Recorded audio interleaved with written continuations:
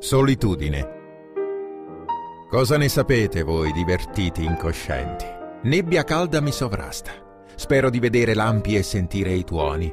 Una tempesta a scuotermi da questa quotidiana solitudine. Come reduce di una disfatta, affronto il giorno come cura palliativa, mentre ambisco un sentiero fra rocce nere, in silenziose solitudini mai banali camminare al buio, ultimo della fila, indietro lontano da questa gente allegra e incosciente, sentire suoni come nel ventre di madre e selvaggia roccia nera mi circonda. La mia anima come ossidiana lucida, riflette impermeabile le vostre felicità, la mia anima come spugna viva, assorbe piena il vostro dolore.